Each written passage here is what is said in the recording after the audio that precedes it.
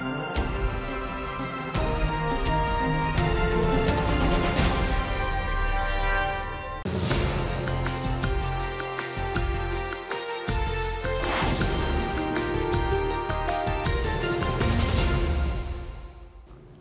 Welcome to Talking Africa on Arise News, a special weekly edition of Africa Wrap, where we take time to reflect on the fortunes and affairs of the emerging continent within its own countries and across the world.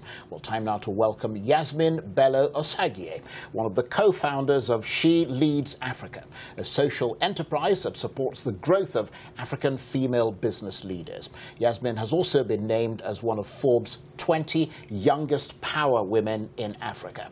Yasmin, thank you very much indeed for coming in. It's a pleasure to have you on um, Talking Africa. Now, Thank you. you're clearly someone who is considered a high achiever.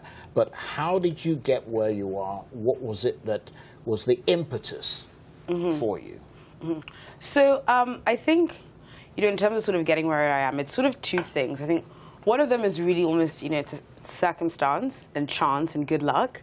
Um, and then I think that the other thing is just sort of around the opportunities that I think that I've been exposed to. Um, so, you know, for me growing up, I mean, first of all, I had, you know, parents who were very particular about education. So, you know, I always say that, you know, you could do pretty much anything you wanted in the house wrong, but as long as you did well in school, like everything was going to be okay.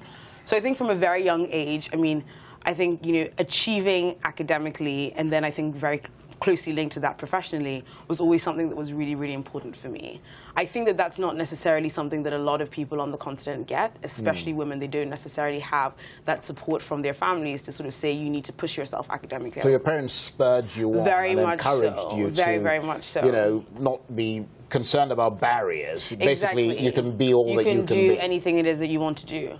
Um, I think that I was very fortunate in that you know they were actually able to afford a very Hmm. good quality of education for me. So you know I started off at primary school in Nigeria, um, then I was at boarding school in England for eight years, um, and then I went to university in the States. Um, again, I think that you know so yes, there's the one hand of sort of saying you have the personality um, or you've been you know shaped in such a way that it makes you want to achieve but you also need the tools to actually achieve that success. And most of the times those tools come from you know having a really strong education you know which links to making sure you can get into a good university which makes links into making sure that you get a really good first job and all these things kind of matter i think that there's like a little bit of a connection And of course, you, you went on to study history and Mm-hmm. finance at Princeton University. Why Yeah. did you choose to study those subjects? Um, okay, so I mean, I chose history just because I really, really love history. Um, I think, I mean, to me, I would say like I actually I don't read a lot of fiction, which probably isn't very good. But to me, what's so amazing about history is that you know they're all stories, but they they actually happened. So you also feel like like you're learning at the same time. I mean, not that you're not from fiction as well, but I mean, I've always really loved the fact about history that you, know, you see it, it's a crazy story, and you're like, wow, that actually happened. Um, in terms of finance, to be completely honest, you know, this is very much like the Nigerian African in me sort of saying, okay, wow, can I really just graduate with history? So I was like, I mean, I think that in America it's pretty easy. I mean, my minor was in finance, and it was like pretty easy to kind of like get the courses mm. together, like such that that was actually So like you were you're a bit of a number with. cruncher then. Yeah, exactly. And I think that, you know, like I would say that your the maths part of your brain, it's like a muscle. So if you mm. don't flex it for a really long time, you kind of lose it. So I wanted to do something that made sure I was continuing to kind of deal with like, you know, figures, numbers and, you know, etc. So you'd like to make a million dollars and then sit down and count it all. exactly. You want to make sure that you can keep track of everything properly, right? Tell us a bit about your time at Princeton. What was it like? Um, so I think I would say about Princeton, I really, I mean, I loved it academically. I mean, I think I was coming from the UK system, which a lot of the times I found a little bit rigid. Um, I think that the cool thing about America is that, I mean, sometimes it's almost like a little cheesy, but it's very much like, oh, you can do whatever you want to do, like, think about this, you know, innovation. And so I think that it really sort of opened my mind academically to sort of some of the things that I could do, what it is that I could be interested in, what are the things that, um, the sort of things that I would want to focus on in the end. Um, I would say socially it was a little bit tough. Um, you know, for my last two years of school, um, I was at a group of schools. I mean, it's a, it's in Wales. It's called um, Atlantic College. It's part of like a group of schools called the United World Colleges. And the whole idea about them is like you know very international, 200 students from like 75 different countries. You know, you're never in a dorm with like someone from like the same you know country as you. And so to kind of go from that to I think Princeton, which is, you know, even amongst kind of the top schools, is quite, um, it can be quite American, um, was a little bit tough for me, I think, like socially kind of readjusting. But I mean, I would make the same decision again because I think that really, in terms of sort of an academic experience, it was like absolutely amazing. Like great Yeah. professors. No, you absolutely. I I think that that's um, most people would agree that that Mm-hmm. um, that that would have been uh, quite an extraordinary experience. Mm-hmm. But then you went from that history, finance at Princeton to Mm. attending the Cordon Bleu Culinary Institute in London and Paris Yes. before working as a trainee chef in the Mandarin Oriental in Hong Kong. Yeah. I mean, that's that's an extraordinary a real move, like twist of yeah exactly um, i mean i think where that came out of was that i sort of was a little worried or i felt that i'd been very very much focused on academics pretty much like my whole life it was i mean like from the time i was a kid my parents were like very big on you know this leads to this leads to this which leads to you getting into a really good university which Mm. lot of is going to Nigerian determine- parents are that exactly way, which is going to determine the rest of your life and so I think I just wanted to do something different, something that was, you know, non-academic, something that would ha- get me to explore, I think, a different side of my personality, like something that I hadn't really So done what was before. Um, that experience like? what, what did you learn to cook? Okay, so I mean, at the Cordon Bleu, of course, you learn a lot of it's sort of like French cuisine. Mm. I mean, and because I wasn't there for that long, most of the focus is initially on kind of learning techniques, Mm. um, and then you kind of like build in like content, you know, and all that sort of stuff. Um, and I mean, it was cool just to, I think, a you get a really good view into the hospitality industry, Mm. which is actually something that's really growing on the continent. Um, I think that the second thing is, from a skills point of view, one of the things that I really learned from working in a kitchen is sort of like learning how to work quickly and accurately under pressure. Because you know you're in a kitchen, it's hot. There's like this there, there's this going on. There's so much going on, and you kind of need to make sure that everything you're doing is precise. You need to make sure. I mean, really sharp knives. You need to be sort of very on the ball, and I think that that's actually something that served me really, really well when I sort of started my professional career. So, So you, did all that and then went back to Nigeria. Yes. to work for McKinsey and Company in Lagos. Mm-hmm. Why did you decide to move back? Did your father sort of lay down the law and say, No. After all that, back to Nigeria? No, not at all. I think actually my parents have been pretty easy in terms of sort of Mm. whatever. I mean, they let me, you know, go to culinary school, so it's Mm. very much like whatever you want. But I mean, I think that I always knew that I wanted to move back to Nigeria. I think that you know. This is a really amazing time to be young and African. If I Mm. think about my parents' generation, like no one wanted to come to like Nigeria, right? It was just like, oh my god, what is this place? Mm. But you know, now I have friends from school, like friends who are based here, and they're all sort of saying, like, we know that like you know Africa and very much Nigeria is this new and exciting growth story. Like, how can we be a part of that? And so I just sort of felt that you know, a from sort of like a, an opportunities perspective, I felt like it was much more interesting to be there. But I think that B also from you know some sort of like uh, I mean I don't want to say a responsibility or a duty, but I think that you know for us who've been very fortunate to I think have a great education, it's really kind of important for us to move back and make sure that as you know Nigeria is developing and it's growing and it's rising, or you know Africa, that it's actually developing in the right way. So, So you, you, you've now moved back to Nigeria. Mm-hmm. You, you've spent some time there. You've watched a political transition Yes. take place in Nigeria. What would you say is the one area that needs to be worked on urgently? I know Mm-hmm. you talked about education earlier. I, I mean, to be honest, I would continue to, if there was one thing, I would continue to focus on education because, well, it's a toss up, to be honest, for me between education and power. Um, Power being electricity. power being ex- exactly electricity because i mean on the one hand you know as um, like young entrepreneurs you see how difficult it is for entrepreneurs to operate when you essentially have to generate your own power it's just simply too expensive and it strangles a lot of big, a lot of businesses now, on the other hand, you know, we actually, when we speak to entrepreneurs, and this is across the continent, a lot of them talk about sort of how difficult it is for them to find talent.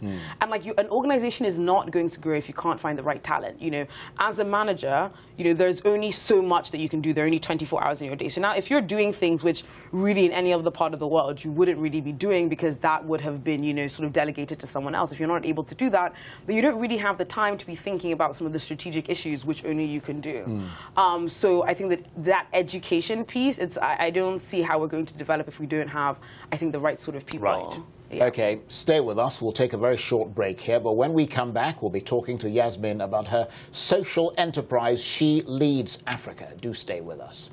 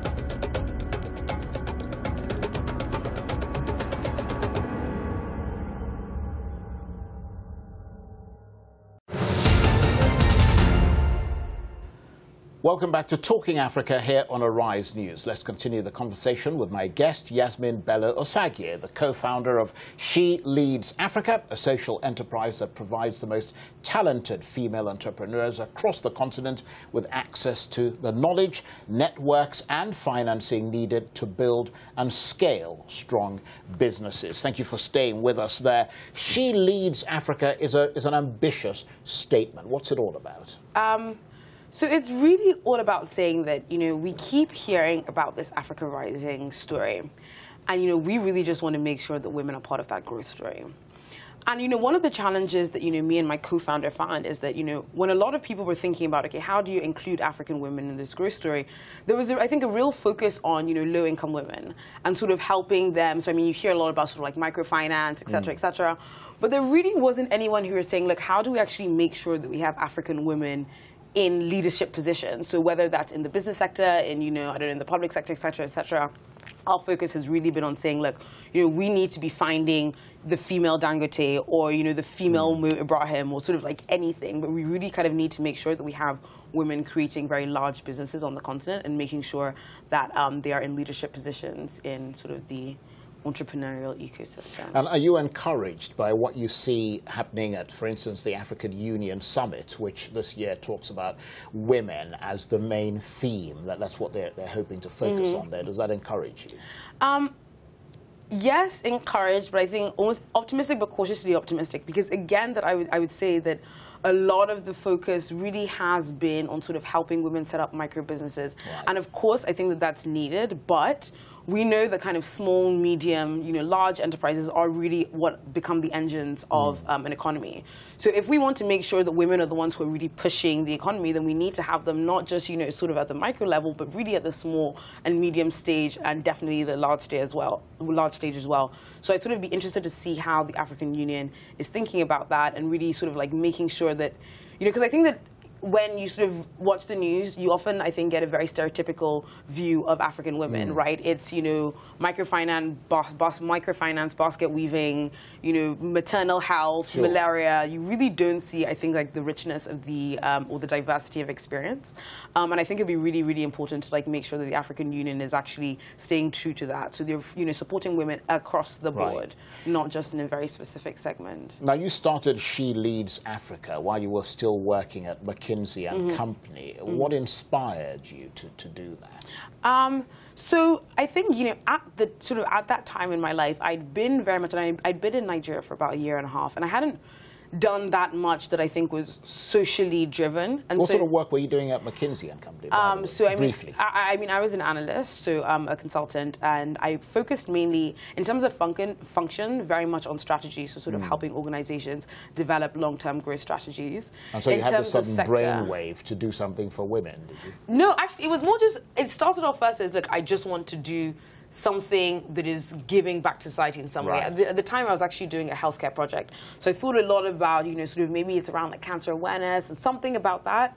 Um, and then I was actually at a conference, um, a Women in Enterprise conference, where I ran into my co-founder. So we worked together at McKinsey, but we didn't know each other that well from the organization. Mm. And I was like, you know, she was volunteering there, and I was like, oh wow, this is great. This is the sort of thing that I would love to get involved with, because sort of at the time at McKinsey, I was also sort of starting up um, or working with a couple of people to start up the Women's Initiative at the McKinsey office in Lagos. Um, and so, you know, she mentioned to me and she said, look, you know, I'd actually been bouncing around the idea of putting together a pitch competition for female entrepreneurs, but like, you know, I've been thinking about it for like the last year, but really haven't had the time to kind of like put it all together. And I was like, look, I would love, I think, to like be a part of that. So initially, when we started, the idea was really just for it to be like a standalone pitch competition. It happens once every year. You know, we kind of do it on the side. Right. Um, but I think that sort of after the response that we got, we realized that there was that we were actually touching on a nerve, which I think a lot of people were thinking about, but they really hadn't had a vehicle to express that through. And you were convinced at that point that this is an organization that is necessary. Exactly. Yes for sure. Right. So, so what do you think is preventing women from taking on these high growth businesses? Mm -hmm. I mean, mm-hmm. and, and, what sort of barriers mm -hmm. have you yourself experienced, possibly, or certainly seen other women experience? Um, so, I mean, you know, we, I mean, we're like very, we're real consultants, right? We're very much like consulting people. So the first thing is around sort of, okay, what is the problem that we think women are facing? Um, and we've sort of identified four barriers. And they all actually kind of, you know, flow into each other. Um, so the first thing is, um, I think, around sort of education. And to me, you know, yes, there is the, okay, we need better education, we need more of it. But one of the things that I think that I've realized is that, you know, work experience is also a big part of your education. One of the things that we see is oftentimes a disconnect between sort of how women are, female entrepreneurs are presenting themselves and how entrepreneurs are receiving them. Often because one of the things that I've realized is that, you know, finance is like almost its own little language, mm. right? And investors are very much people who are coming almost a lot of times from a finance perspective. And if you don't understand how to speak that language or you don't know kind of what it is that's important to them, what should I show them, what do I not need to have, what should I have in a pitch deck, what should I not have, a lot of the times it's then very difficult to get kind of people to back you. Um, so there's a big sort of education piece. Then the, no- the next thing is something around sort of stereotypes. I think that again we're very used to African women. Yes, we always see you know very entrepreneurial. We actually have the highest rates of female entrepreneurship in the world.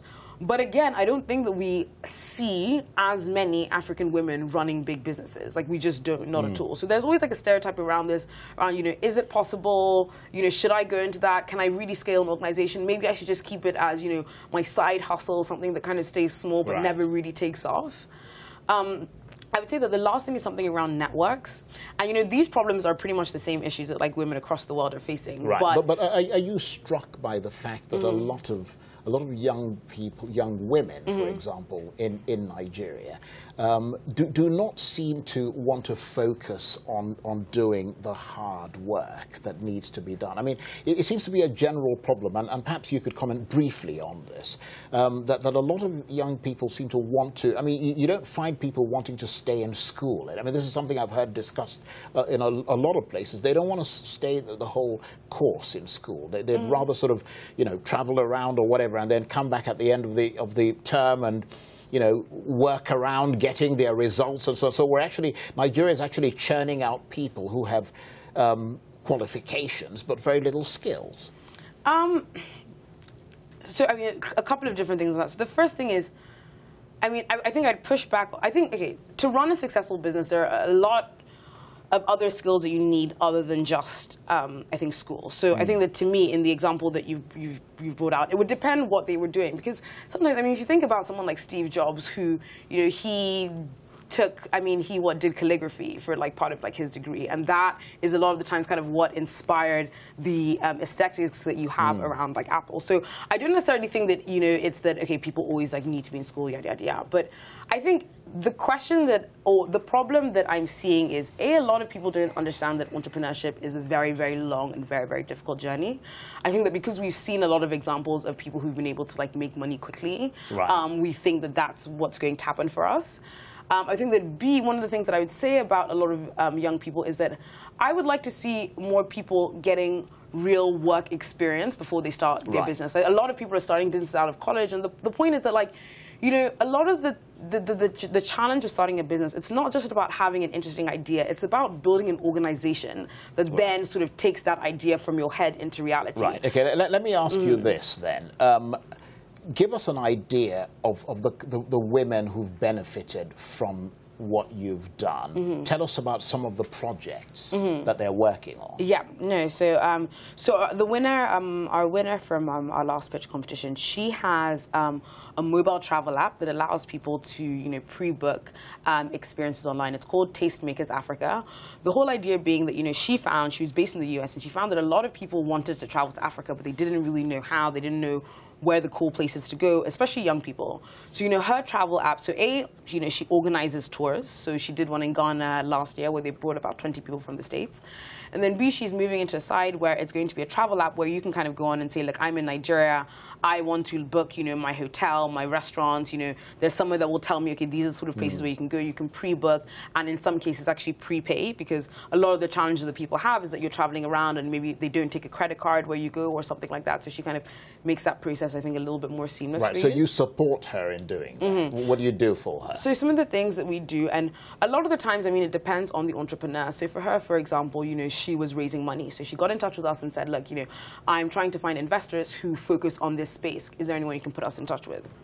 We put her in touch with a couple of people. One of the people who we put her in touch with led her seed round and gave her $50,000. So I think it's a, it's a little bit ad hoc. Sometimes people will say, okay, I need an introduction to more people. I mean, we have a great example of um, an organization who they make foldable ballet mm, flats. Mm, briefly. Um, it's called Thandos Flats.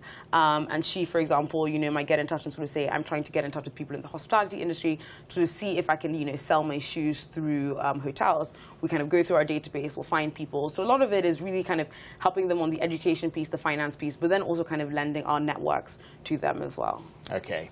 We'll take a very short break here, but when we come back, we'll be talking to Yasmin Belo-Osagie about her plans for the future on the rising continent. Stay with us.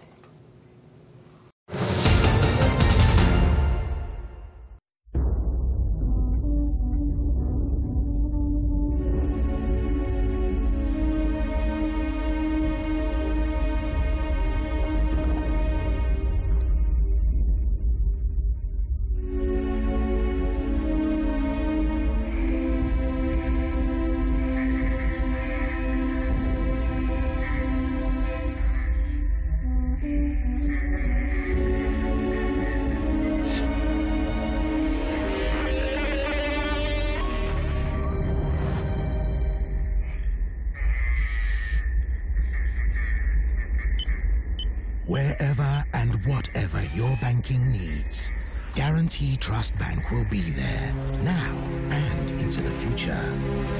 Because you're at the heart of everything we do. Guaranty Trust Bank, proudly African, truly international. Welcome back to Talking Africa here on Arise News. We're joined by Yasmin Belo-Osagie, a co-founder of She Leads Africa, who has big plans for the future of women on the continent. Let's start, start with your own personal plans for mm -hmm, the mm-hmm, future. Mm -hmm. What are they? Um, so, I mean, definitely to continue to grow She Leads Africa. Um, I'm also going to be going back to school. Um, going to be doing um, my JD MBA, so that's a mix of a law degree and um, a business degree as well. So well, that's quite ambitious.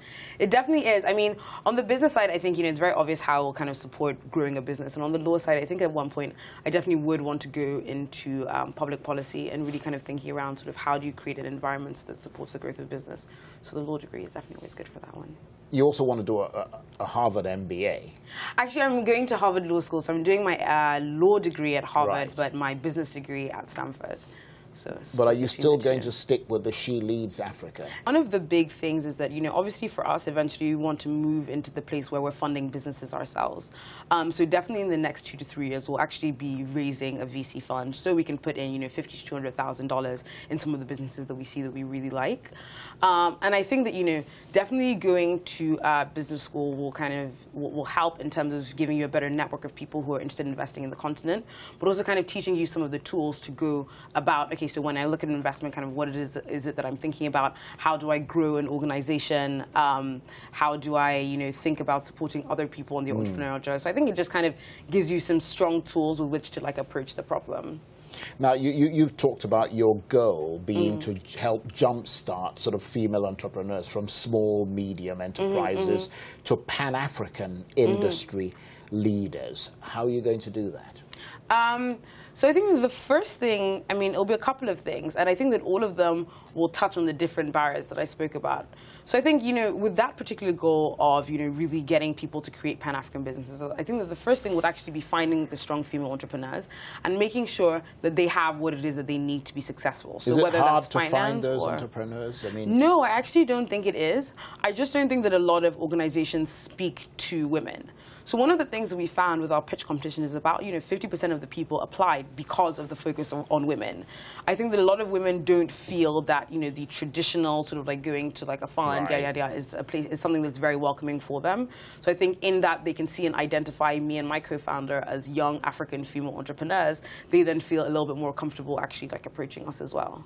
Because of course the the, um, the, the women on company boards. Mm-hmm. I mean, there appears to be a ceiling on, on that. And if you've only just got about 14 percent Mm-hmm. um, of board members who are women, are you encouraging women to join these big companies or to form their own companies Mm-hmm. as a way of breaking that glass ceiling? So I think when we first started out, there was a real focus on entrepreneurship. But I think that um, the mission of She Leads Africa, it's sort of it's expanded a little bit in that you know we found that a lot of our community members, they just like the idea that we're saying women can do whatever it is that they want, whether that's starting your own business or kind of reaching um, a, a top leadership position in your already existing organization. But I would say that you know the focus of the organization definitely has been um, on entrepreneurs and supporting them. But you know we have a lot of kind of like professional women who you know engage with us, whether it's like online or come to our events or anything like that. So I know I've touched on this, but you've already been named as one of Forbes's 20 youngest power women Mm-hmm. in Africa. You're only 26. I hope you don't mind my yeah, no, no, no, not at all. Um, leaving aside things like She Leads Africa Mm-hmm. and your ambition to help others, what are your plans for the future? I mean, beyond the education that you just told us you were going to go back Mm-hmm. to school and so on. Um, I mean, I think it would be to grow a really um, strong organization on the continent that actually supports the growth of other organizations. I think it's really, really important that we build world class institutions on the continent that are actually started by Africans. I don't think that we have enough of those yet. Um, and so, I mean, that's kind of what it is that So like, you're talking about some, some sort of consultancy that, that goes and helps other sort of um, companies and so on to, to grow and Um, I mean, I think that it can be anything. So, I mean, in the way that She Leads Africa evolves, I think that we're a little bit, you know, finance, a little bit of a consulting firm as well. It's kind of a mix of the two. But, you know, I think that the real thing is just to say that we really want to build an institution that is going to, I think, stay on and be helping and support women way, you know, after, you know, we retire or, I mean, one day we're all going to die, right? But, um, so I think that that's something that's really important to me and really um, have something that has actually contributed, especially to I think job creation and sort of um, economic growth on the continent. And, and do you see She. Leads Africa Mm-hmm. as the vessel for communicating this, or, or you know, or, or do you see yourself going beyond that and creating something else? No, so for me, I mean, I think I'm 150% focused on like She Leads Africa for now, um, and I who knows what's going to happen in like 20 years. I really can't speak for that, but for the foreseeable future, I think that this is something that I really enjoy. I think it's something that needs to be done, um, and I think that it's something that I really, I mean, I'm happy to do it. I'm happy to support support other um, young women, of course, because people kind of supported me. So I think it's important to do that as well. Yasmin, thank you very much. Thank you very much for having me.